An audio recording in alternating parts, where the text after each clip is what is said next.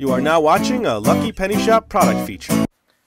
Hey, it's Lucky Penny Shop, and it's time for the number one toy in the Barbie and the Pink Shoes 2013 Happy Meal toy collection. But let's first look at that box, huh? Got Barbie on the front. This is side one here. And it says spin, leap, and twirl. Try these ballet moves and dance from your heart. Then this side is the Fish McBites. I've never had those. Uh, the Hex Bug.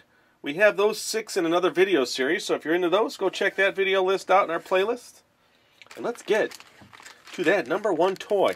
Now this one here looks like a dancing Barbie, and it says Barbie as Kristyn Farraday. All right.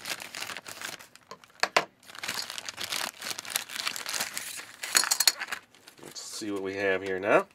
On the directions, it says put her foot in the base and then twist. And looks like there's a wheel to spin. Okay. Nice. Let's see. Very cool. Barbie hair. Tied up. Let's just get this going here and then we'll look in more detail. Oh yeah, fits right in there. Gotta get ready for this, don't we? Now how is that? Now it's going to go as fast as you can go, so let me just speed her up. Okay, now she's really spinning. And look at her hair flopping. So let's see. Let's just take a look close up here. I'll let you study that a little. And then I'll spin her, right? It's like she's modeling here for us.